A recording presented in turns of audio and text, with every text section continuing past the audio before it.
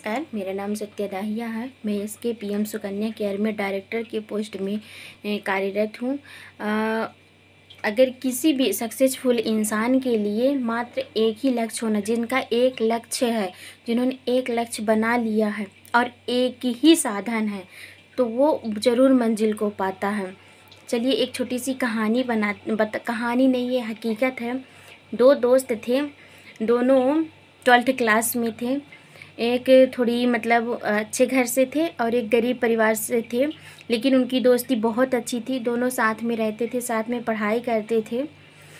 एक एक के पास साधन था कोचिंग करने का।